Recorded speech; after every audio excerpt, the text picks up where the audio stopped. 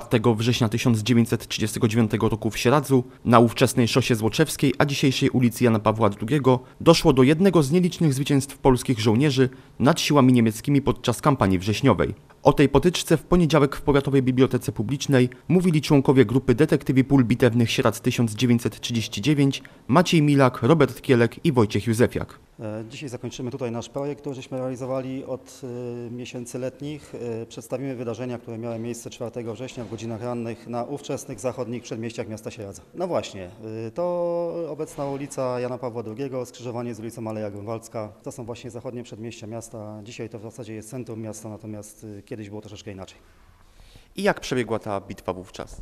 E, tak, 4 września około godziny 9 rano od strony Złoczewa e, pojawił się patrol zmotoryzowany niemiecki, który e, tutaj powiedzmy dość gwałtownie chciał wkroczyć do miasta, ale nie zaskoczył, zaskoczony został przez taką naszą tutaj, nasze ubezpieczenie, taką czatę, która e, no, dozorowała tą, tą część miasta od strony za, południowo-zachodniej, aby właśnie się to nie zdarzyło. No i nasi żołnierze tu odparli ten atak, zniszczyli trochę sprzętu niemieckiego.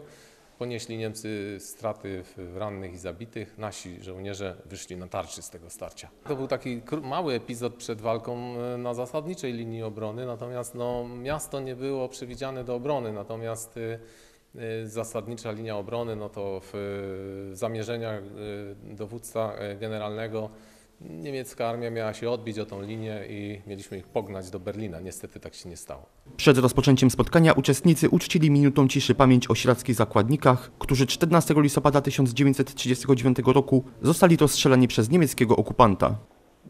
Masz jeszcze taką propozycję, jeżeli Państwo nie mieliby nic przeciwko, abyśmy minutą ciszy uczcili na początek y, w związku z, z kolejną rocznicą rozstrzelania sieradzkich zakładników, która miała co prawda miejsce wczoraj, ale pamięć tych y, sieradzan, którzy po prostu jako pierwsi w zasadzie oddali życie podczas II wojny światowej.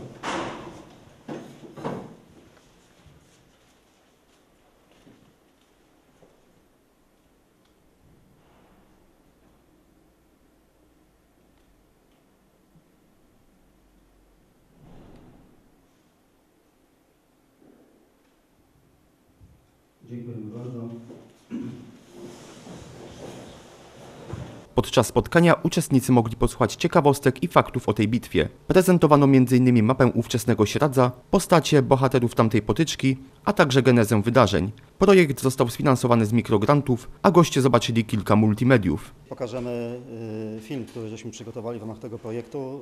Y, To jest 12-minutowy film w jakości HD. Y, Przedstawimy także y, folder informacyjny na temat tego wydarzenia, który przygotowaliśmy, który będzie rozpowszechniany począwszy od y, wtorku, od jutra w, w mediach, na stronach internetowych, oczywiście nieodpłatnie. I pokażemy też nasz taki sztandarowy element tego projektu, czyli obraz batalistyczny, który przedstawia to wydarzenie, który został namalowany przez naszego sieradzkiego artystę Cezarego Zbrojewskiego. A to, że później około godziny 10-11 jechali do tego to jest tylko